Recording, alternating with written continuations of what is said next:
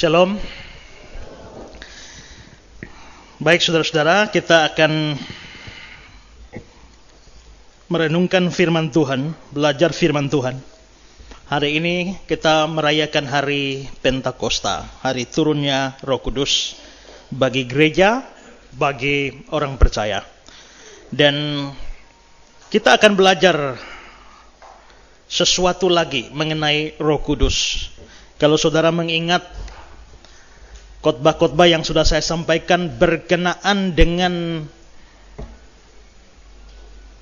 hari Pentakosta, maka saya bicara, saya sudah pernah bicara tentang Pentakosta dan pemberitaan Injil.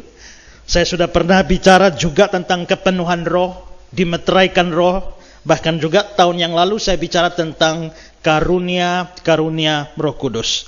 Dan hari ini saudara, saya akan membahas satu tema yakni Roh Kudus dan pelayanan orang percaya. Roh Kudus dan pelayanan orang percaya. Teks yang akan saya angkat dan kita pelajari hari ini bukan dari kisah pasal 2 ayat 1 sampai uh, 13 yaitu tentang peristiwa turunnya Roh Kudus, bukan itu. Yang saya angkat adalah khotbah Petrus pada hari Pentakosta itu yang terdapat dalam kisah 2 ayat yang ke-14 sampai ayat yang ke-41.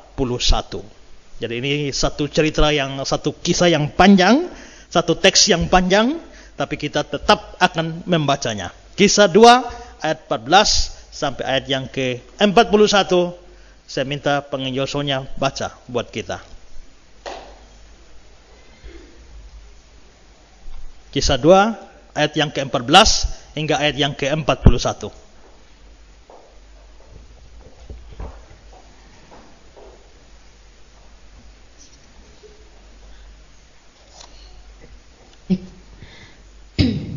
Kisah 2 ayat 14 sampai 41.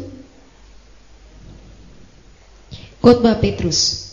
Maka bangkitlah Petrus berdiri dengan kesebelas rasul itu dan dengan suara nyaring ia berkata kepada mereka, Hai kamu orang Yahudi dan kamu semua yang tinggal di Yerusalem, ketahuilah dan camkanlah perkataanku ini. Orang-orang ini tidak mabuk seperti yang kamu sangka, karena hari baru pukul sembilan. Tetapi itulah yang difirmankan Allah dengan perantaraan Nabi Yoel akan terjadi pada hari-hari terakhir. Demikianlah firman Allah bahwa aku akan mencurahkan rohku ke atas semua manusia.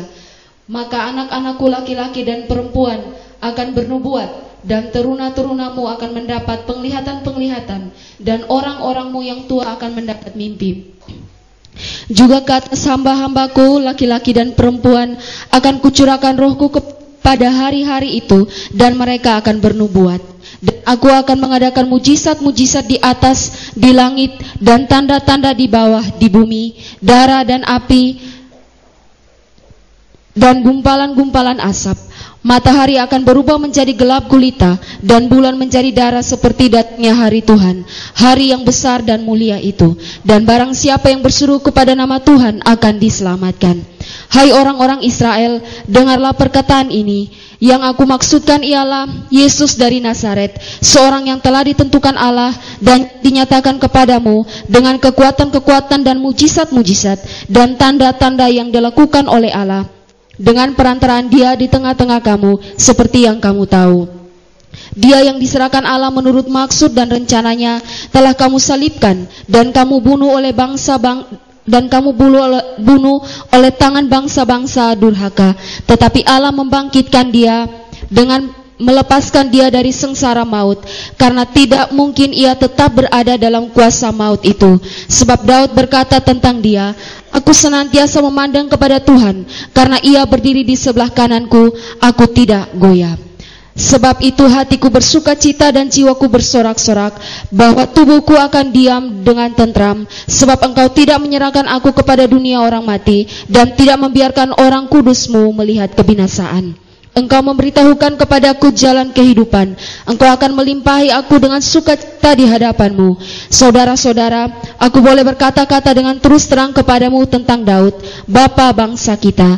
Ia telah mati dan dikubur dan kuburannya masih ada pada kita sampai hari ini. Tetapi ia adalah seorang nabi dan ia tahu bahwa Allah telah berjanji kepadanya dengan mengangkat sumpah bahwa ia akan mendudukan seorang dari keturunan Daud sendiri di atas tahtanya.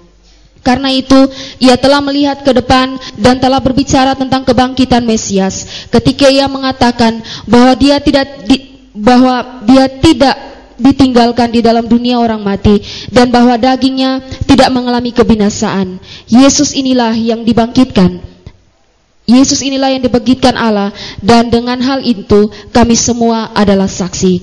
Dan sesudah ia ditinggikan oleh tangan Allah oleh tangan kanan Allah dan menerima Roh Kudus yang dijanjikan itu, maka dicurahkannya pada maka dicurahkannya apa yang kamu lihat dan dengar di sini. Sebab bukan Daud yang naik ke sorga, malahan Daud sendiri berkata, Tuhan telah berfirman kepadaku, duduklah di sebelah kananku sampai kubuat musuh-musuhmu menjadi tumpuan kakimu. Jadi seluruh kaum Israel harus tahu dengan pasti bahwa Allah telah membuat Yesus yang kamu salibkan itu menjadi Tuhan dan Kristus. Ketika mereka mendengar hal itu, hati mereka sangat terharu. Lalu mereka bertanya kepada Petrus dan rasul-rasul yang lain, "Apakah yang harus kami perbuat, saudara-saudara?" Jawab Petrus kepada mereka, "Bertobatlah dan hendaklah kamu masing-masing memberi dirimu dibaptis dalam nama Yesus Kristus untuk pengampunan dosamu, maka kamu akan menerima Roh Kudus. Sebab Sebab bagi kamulah janji itu dan bagi anak-anakmu dan bagi orang yang masih jauh, yaitu sebanyak yang akan dipanggil oleh Tuhan Allah kita. Dan dengan banyak perkataan lain yang dan dengan banyak perkataan lain lagi ia memberi suatu kesaksian yang sungguh-sungguh dan ia mengecam dan menasihati mereka katanya berilah dirimu diselamat beri dari angkat berilah dirimu diselamatkan dari angkatan yang jahat ini, orang-orang yang menerima perkataan itu memberi diri dibaptis dan pada hari itu jumlah mereka bertambah kira-kira 3000 jiwa. Ya, terima kasih untuk pembacaan yang panjang, sembilan kali salah baca. Baik saudara-saudara, saya memang sengaja suruh baca biar saya hemat suara. Hari ini kita kembali memperingati hari Pentakosta atau hari pencurahan Roh Kudus.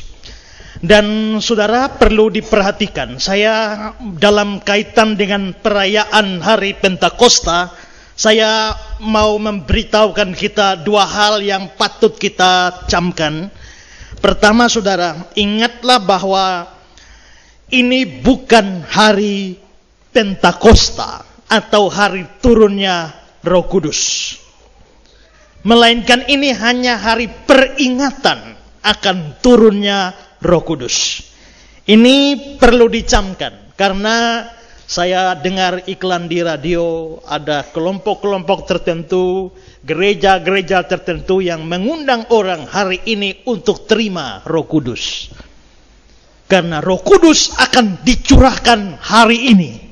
Saudara, ini salah ya. Ini hanya peringatan. Roh Kudusnya sudah turun dua ribuan tahun yang lalu. Dan karena itu, waktu Roh Kudus sudah turun mendiami orang percaya selama-lamanya, Roh Kudus tidak pernah pergi lagi, lalu turun lagi, lalu sehingga kita harus minta Dia dicurahkan lagi. Karena itu, lagu-lagu, doa-doa yang minta, "Oh Allah, curahkanlah rohmu." Masuklah dalam hati saya, itu salah. Karena apa? Kita bukan sedang menantikan Roh Kudus turun hari ini. Tidak. Tapi kita hanya memperingatinya. Ini sama dengan Natal. Yesus bukan lahir pada 25 Desember itu. Dia sudah lahir 2000-an tahun yang lalu. Kita cuma memperingati hari kelahirannya. Yesus bukan baru naik ke surga sepuluh hari yang lalu. Bukan.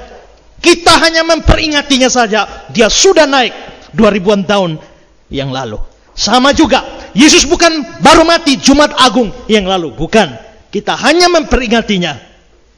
Karena itu saudara, jangan membuat hari ini seolah-olah adalah hari Roh Kudus baru turun. Jangan juga membuat acara-acara khusus untuk mengundang Roh Kudus turun atau dicurahkan pada hari ini. Itu salah.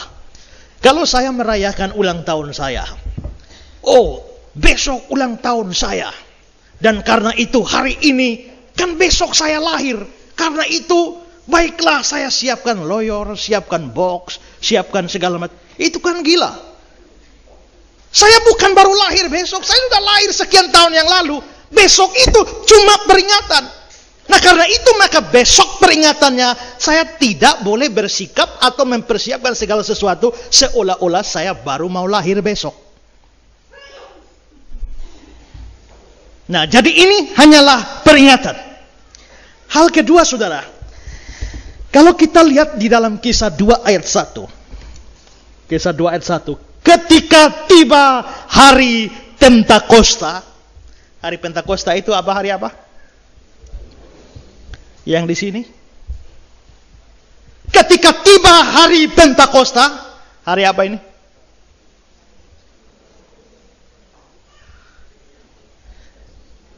Apa yang dimaksudkan dengan hari Pentakosta di situ? Hari apa? Nah, ini salah semua. Saudara perhatikan baik-baik. Ini ayat 1. Hari Pentakosta adalah hari dicurahkannya Roh Kudus. Sedangkan Roh Kudus baru dicurahkan ayat 6.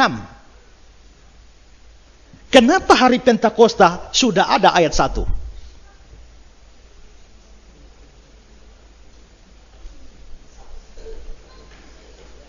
Ketika tiba hari Pentakosta, berarti Pentakostanya sudah ada. Lalu ayat 6-nya Roh Kudus dicurahkan. Berarti saudara, hari pen, bukan hari Pentakosta itu bukan hari turunnya Roh Kudus. Tetapi pada hari Pentakosta, Roh Kudus dicurahkan. Mengerti?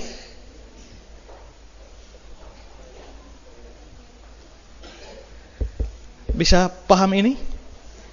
Berarti hari Pentakosta sudah ada lebih dulu sebelum Roh Kudus turun. Karena pada hari Pentakosta itulah Tuhan Allah dari surga mencurahkan rohnya. Bagaimana hari Pentakosta adalah hari pencurahan Roh Kudus? Tidak mungkin. Ini hari Pentakosta sudah ada. Nah, karena itu Saudara, sebenarnya kata Pentakosta di sini, Pentakosta itu artinya hari ke-50 sejak dari Paskah. Karena itu, hitung dari Paskah kita, kebangkitan Yesus sampai 50 hari sampai hari ini. Nah, Saudara, Pentakosta di sini kisah pasal 2 ayat 1 Ketika tiba hari Pentakosta, ini bukan hari turun Roh Kudus. Waktu itu Roh Kudus belum turun. Ini Pentakosta Perjanjian Lama. Nah, Pentakosta Perjanjian Lama ini tidak ada hubungan dengan Roh Kudus. Pentakosta Perjanjian Lama ini adalah hari ke-50 dari Passovernya atau Paskahnya orang Yahudi. Dan hari Pentakosta itu mereka rayakan untuk dua hal. Pertama, mereka memperingati pemberian 10 hukum. Kedua, ini adalah hari raya panen. Kalau mereka tanam-tanam dan hari panen, nah pas panen itu, itu disebut Pentakosta. Jadi saudara di sini ayat 1, ketika tiba hari Pentakosta, ini bukan Pentakostanya Kristen, yakni turun roh kudus. Bukan, ini Pentakostanya orang Yahudi, Pentakostanya perjanjian lama, Pentakostanya hukum Taurat. Jadi ini adalah hari peringatan turunnya sepuluh hukum. Ini adalah hari raya panen. Dan karena itu saudara, biasanya orang Yahudi pada hari Pentakosta mereka, mereka tidak kerja. Mereka kumpul semua di satu tempat dan membuat acara perayaan yang besar-besaran. Itulah sebabnya di dalam kisah pasal 2 pada hari Pentakosta kita lihat ada orang-orang dari bangsa lain akan datang. Mereka datang kenapa? Karena orang Yahudi diaspora yang sudah tinggal di luar Israel berdatangan semua kumpul di Yerusalem. Karena itu adalah hari perayaan Pentakosta Perjanjian Lama. Nah, saudara-saudara, Pentakosta Perjanjian Lama ini terkenal sebagai hari raya tujuh minggu. Dalam ulangan 16 ayat 10, Kemudian haruslah engkau merayakan hari raya tujuh minggu bagi Tuhan. Sekedar persembahan sukarela yang akan kau berikan sesuai dengan berkat yang diberikan padamu oleh Tuhan Allahmu. Jadi ini hari raya panen. Karena panen maka pada hari Pentakosta hari raya tujuh minggu kamu harus berikan berkat sesuai yang diberikan Tuhan. Harus bawa persembahan. Kenapa? Kan hari panen. Kalau panen pasti kamu dapat hasil banyak. Nah, pas hari raya Pentakosta itu dari hasil yang kamu dapat bawa sukarela kepada Tuhan. Itu kebiasaannya. Disebut hari raya tujuh minggu. Satu minggu berapa hari? Tujuh. Kalau tujuh minggu berapa hari? 49 dibulatkan 50 jadi hari ke-50 kenapa pakai dibulatkan? Ya karena Pentakosta ini kita lihat bahwa hari 7 minggu Pentakosta bagaimanapun juga mesti kena hari minggu. Dan karena itu 49 itu tidak pas hari minggu pas hari minggu hari Pentakosta hari yang ke-50 nah hari raya 7 minggu ini ini hari raya panen karena itu di dalam bahasa Indonesia sehari-hari dikatakan lalu rayakanlah pesta panen untuk menghormati Tuhan.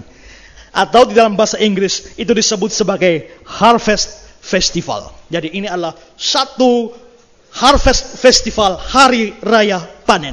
Nah, jadi saudara, dalam kisah 2 ayat 1 pada hari Pentakosta ini harvest festival atau hari raya tujuh minggu atau pesta panen itu semua orang berkumpul. Nah, pada saat semua berkumpul itu, Roh Kudus turun. Jadi Roh Kudus turun pada persis hari Pentakosta. Nah, setelah itu maka orang Kristen lalu mengatakan bahwa hari Pentakosta adalah hari dicurahkannya Roh Kudus. Itu Pentakosta Kristen. Kalau Pentakosta Yahudi lain, seperti yang sudah saya jelaskan. Nah, jadi itu perlu kita mengerti saudara-saudara pada hari panen inilah hari harvest festival inilah di mana orang biasa bersyukur untuk panen gandum, panen padi dan sebagainya. Gereja Tuhan memanen jiwa-jiwa pada hari itu. 3000 orang bertobat. Saudara, kita sudah baca kisah 2 ayat 14 41 sampai 41 yang adalah khotbah Petrus setelah Roh Kudus dicurahkan pada kisah 2 ayat 1 sampai 13. Dan sesuai tema kita hari ini yakni Roh Kudus dan pelayanan orang percaya, maka saya akan menyoroti peranan Roh Kudus di dalam pelayanan murid-murid terutama pelayanan pemberitaan Injil dari murid-murid biarpun semua murid yang menjadi sorotan utama kita adalah Petrus. Karena di sini Petrus yang berdiri bersama murid-murid yang lain, tapi dia adalah jubirnya, dia adalah juru bicaranya dan dia yang berkhotbah. Nah, saudara-saudara, teks kita yang panjang ini memperlihatkan pada kita sekurang-kurangnya tiga peranan Roh Kudus di dalam pelayanan orang percaya. Yang pertama, saudara, peranan Roh Kudus yang pertama adalah Roh Kudus memberikan keberanian di dalam melayani. Roh Kudus memberikan keberanian di dalam melayani. Pada waktu Roh Kudus dicurahkan, menurut kisah 2 ayat 13 dan ayat sebelumnya, murid-murid berbicara dalam bahasa yang lain. Kenapa mereka mesti bicara dalam bahasa lain? Karena waktu itu orang asing ada banyak datang ke Yerusalem. Orang Yahudi tapi tinggal di luar Yahudi. Karena itu bahasa mereka sudah lain. Waktu mereka kumpul semua, murid-murid diberikan karunia berbicara dalam bahasa-bahasa lain sehingga orang-orang dari luar negeri mereka mendengar murid-murid bicara dalam bahasa mereka sendiri. Nah, tetapi saudara, yang banyak orang yang tercengang, heran dengan semua itu, tapi menurut ayat 13 ada sebagian orang mengatakan mereka sedang mabuk oleh anggur. Nah, karena ada tuduhan bahwa mereka mabuk anggur ini, mendengar tuduhan ini, rasul-rasul bangkit berdiri dan melalui jubirnya Petrus dia bicara untuk membantah tuduhan ini. Ayat 14. Maka bangkitlah Petrus berdiri dengan kesebelas murid itu dan dengan suara nyaring dia berkata, "Hai orang Yahudi, kamu-kamu yang tinggal di Yerusalem, ketahuilah dan camkanlah perkataan ini." Jadi saudara, mengapa mereka berdiri? Karena ada tuduhan. Nah saudara, dari sini kita bisa lihat bahwa Kelihatannya ada satu keberanian yang luar biasa di dalam diri murid-murid untuk menentang semua tuduhan yang diberikan kepada mereka dan juga ada satu keberanian yang luar biasa untuk berdiri menyampaikan firman Tuhan atau menyampaikan Injil kepada orang-orang Yahudi. Saudara, keberanian ini nampak lewat kata-kata yang digunakan Petrus di dalam khotbahnya. Kita lihat ayat 23 dan ayat 36. Di sana dikatakan, dia yang diserahkan Allah menurut maksud dan rencananya telah kamu salibkan dan kamu bunuh oleh tangan bangsa-bangsa durhaka. Jadi seluruh kaum Israel harus tahu dengan pasti bahwa Allah telah membuat Yesus yang kamu salibkan menjadi Tuhan dan Kristus. Saudara perhatikan kata-kata yang saya garis bawahi. Petrus mengecam, telah kamu salibkan dan telah kamu bunuh bangsa-bangsa durhaka. Terjemahan yang tepat adalah bangsa-bangsa yang tidak mempunyai hukum. Ini berarti bangsa durhaka di sini bukan menunjuk Israel. Kenapa? Karena Israel punya hukum. Kalau begitu bangsa mana? Bangsa Romawi. Jadi di sini Petrus di dalam khotbahnya dia menyerang orang Yahudi. Yesus kamu salibkan dan kamu bunuh. Tapi kamu salibkan dan kamu bunuh lewat tangan-tangan durhaka bangsa Romawi yang tidak punya hukum. Lalu saudara, dalam ayat yang ke-36 dia tegaskan, Yesus yang kamu salibkan itu. Ini kelihatannya saudara, Petrus bicara begini tidak takut sama sekali. Dia kecam mereka. Yesus kamu bunuh, kamu salibkan lewat tangan-tangan bangsa durhaka. Juga bandingkan dengan ayat 40. Dan dengan banyak perkataan lain dia memberikan kesaksian yang sungguh-sungguh dan dia mengecap dan menasihati mereka. Berilah I'm taking